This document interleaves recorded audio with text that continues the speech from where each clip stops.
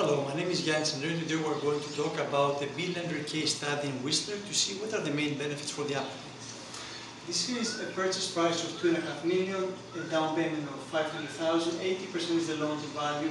2 million the mortgage amount, 4.39% the interest rate, two-year term, 30-year amortization, $9,956.68 a month is the payment, 510 is the credit score, bankruptcy is a significant event that was paid out recently, annual income of 330,000, debt ratios of 47.05%, and the exit strategy is to go to an A lender. This is a beneficial mortgage for a couple that doesn't qualify because of a lower credit score and a recent credit event that would like to enter the market and with improved credit move to an A lender in the near future. Thank you for watching and have a wonderful day.